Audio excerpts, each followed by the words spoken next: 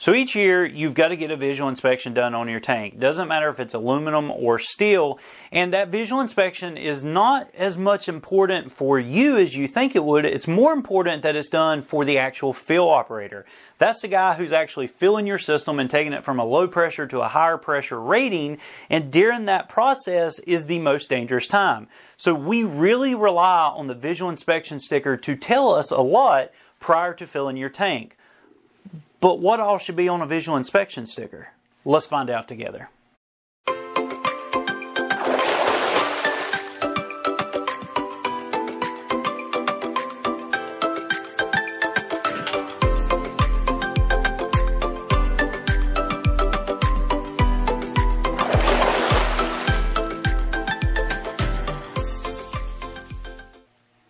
What's up guys, it's Bryan again from Lake Hickory Scuba Marina and if you are new to our channel, take a few seconds and click this little subscribe button over here and ding that little bell as well. That way you guys will be notified every time we upload new content. Now in today's video, we're going to be looking at a custom visual inspection sticker and yes, I said custom.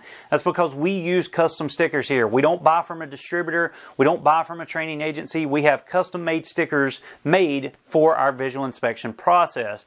Now I'm not going to be actually going over the visual inspection process, but I am going to be focusing on the sticker and all the information that's on it. This is something that you should have learned during your open water course, but in the event that you didn't, we're going to be looking in-depthly at the visual inspection sticker and what the information means. So without further ado, let's get started. All right, guys, so I got a customer cylinder here that's just got back with a brand new hydro, um, and I just performed my visual inspection. The only thing I have left to do, of course, is replace the valve, put some air in it, throw a new sticker on it, and then of course the customer can go out and have a good day of diving. So I'm going to remove this sticker. And before I put the new sticker on and stamp it out, we're going to go over each little component here and just try to have a better understanding of what's actually on a sticker and what a fill operator looks for whenever he fills the cylinder. So first of all, we do use custom made uh, stickers. We do not buy from a distributor. We don't buy from a training agency. We like our custom made stickers and that's what we've been using really since day number one. So it's going to have our logo on it. It's going to have our phone number and our website as well. It just gives a little bit of information to either the fill operator if he's got a question or even the customer itself. And it's got a little statement here. It just says this visual inspection has been performed by PSI PCI certified visual inspector and the cylinder has successfully passed its yearly inspection. And basically all that says is we are certified through PSI, PCI to do visual inspections and that of course it meets their their 18 step protocol. Moving on down, of course, we have three different markings here. We can either have an air only cylinder, we can have a nitrox up to 40% pre-blend or we can have a 100% partial pressure blended cylinder.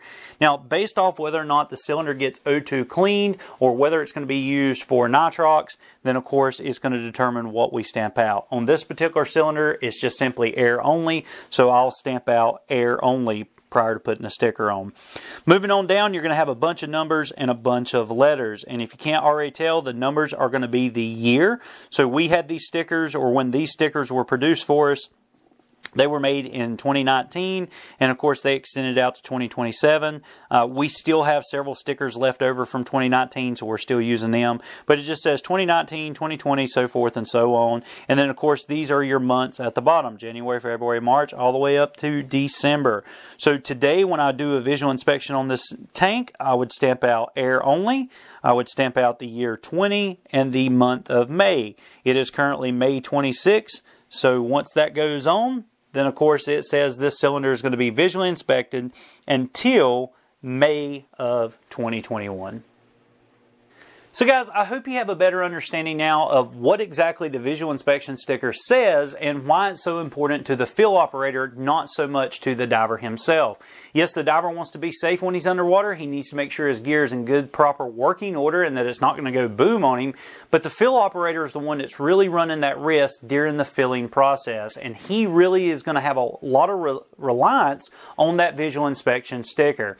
Guys, if you got any question on visual inspections or visual inspection stickers, things like that, drop me a comment down below and I'll try to answer your questions the best I can.